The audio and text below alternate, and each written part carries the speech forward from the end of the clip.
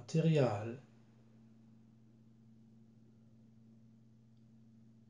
Als erstes brauchen wir eine Toilettenpapierrolle. Die habt ihr normalerweise alle zu Hause.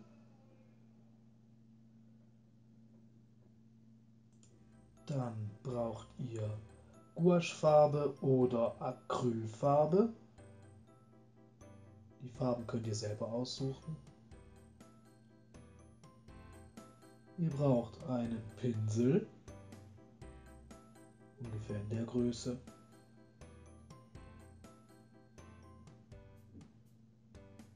Ihr braucht einen schwarzen Filzstift. Als nächstes braucht ihr auch noch einen Klebestift.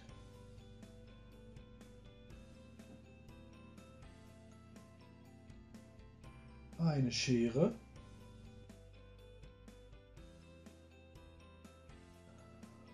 Und zu guter Letzt, wenn ihr das zu Hause habt, auch noch diese Wackelaugen hier.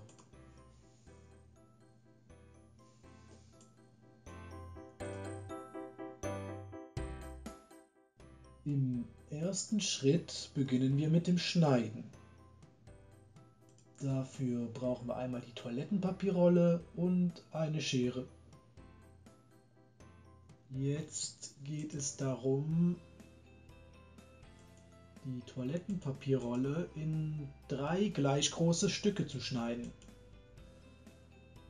Am besten versucht ihr so gerade wie möglich zu schneiden. Es geht einfacher, wenn ihr die Toilettenpapierrolle etwas flach drückt, so wie ich das gerade mache. Dann habt ihr drei solcher Stücke. Im zweiten Schritt werden die Toilettenpapierrollen angefärbt. Dafür nehmt ihr hier ein Teil.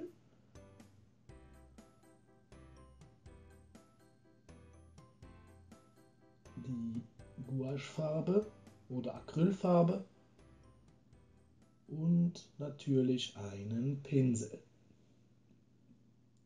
Sucht euch eine Farbe aus und färbt die Rolle an. Ihr müsst eigentlich nur das Äußere färben.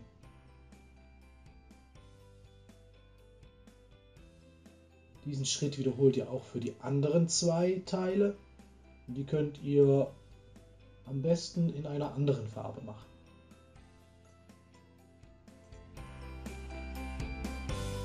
Damit es schön bunt wird.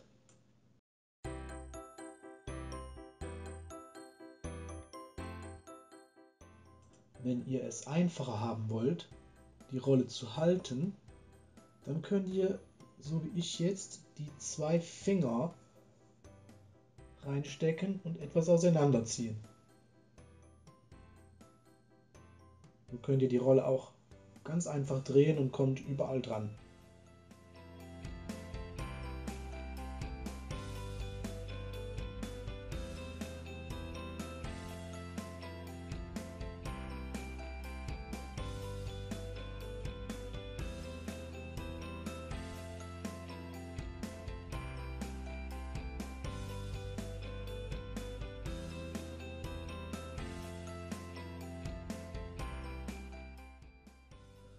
Und jetzt müssen wir warten, bis alles getrocknet ist.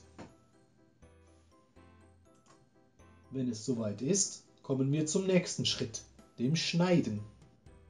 Dafür nehmt ihr eine Rolle, drückt sie zuerst etwas platt.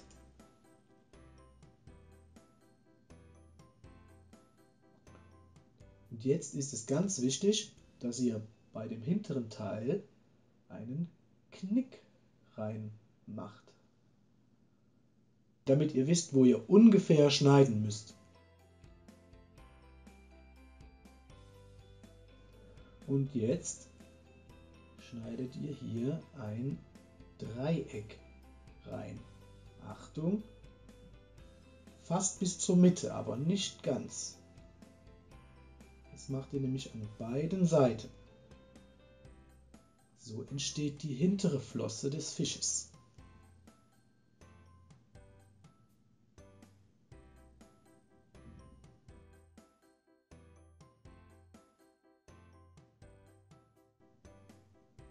Die kleinen Dreiecke werft ihr nicht weg. Ihr legt sie zuerst auf Seite. Die brauchen wir nämlich noch. Das war's aber noch nicht mit dem Schneiden. Jetzt schneiden wir auch noch den Mund rein. Dazu schneidet ihr auch hier unten ein kleines Dreieck.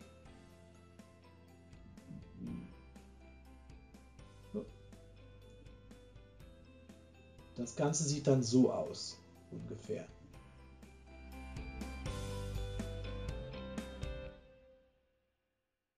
Und das Ganze macht ihr auch mit den anderen Rollen.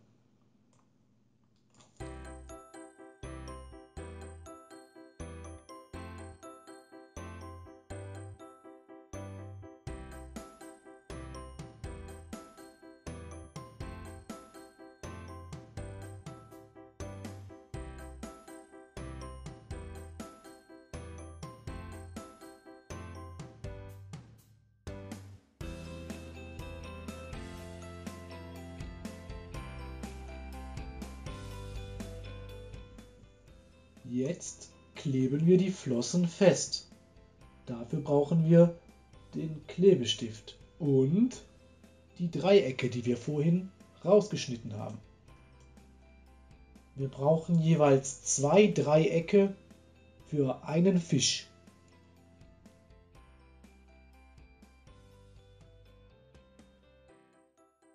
Ihr nehmt euch eins dieser Dreiecke tragt etwas Kleber auf und klebt es ungefähr an diese Stelle hier hin.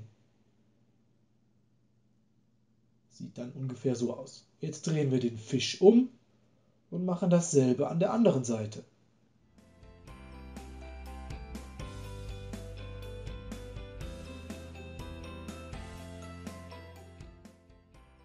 Diesen Vorgang wiederholen wir nun auch für die anderen zwei Fische.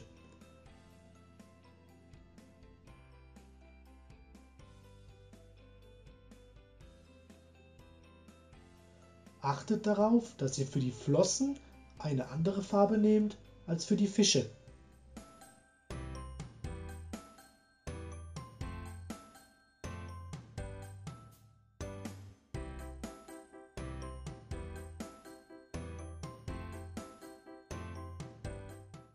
Jetzt zeichnen wir die hintere Flosse noch ein. Dafür nehmt ihr hier so einen schwarzen Filzstift. Der kann etwas dicker sein oder auch etwas dünner, was ihr da habt. Und zeichnet hier solche Linien ein.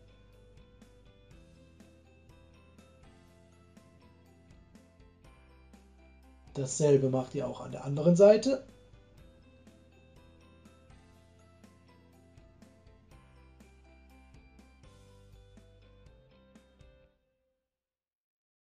Ihr könnt auch noch die Seitenflossen einzeichnen.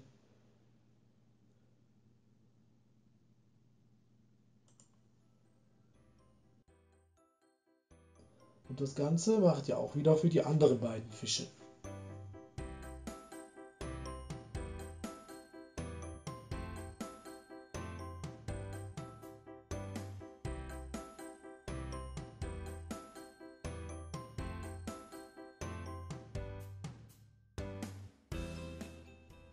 Jetzt kommen wir schon zum letzten Schritt.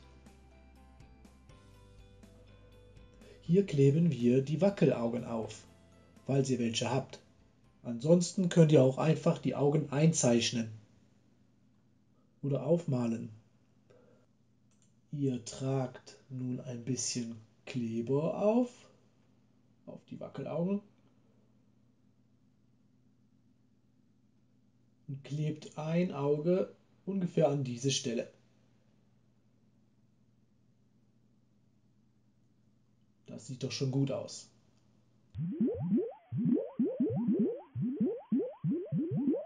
Dasselbe macht ihr jetzt auch an der anderen Seite. Ihr tragt wieder ein wenig Kleber auf.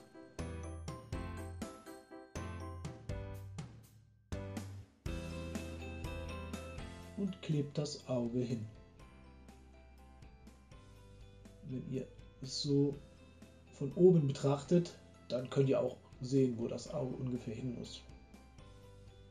Genau, so. Und schon ist euer Fisch fertig.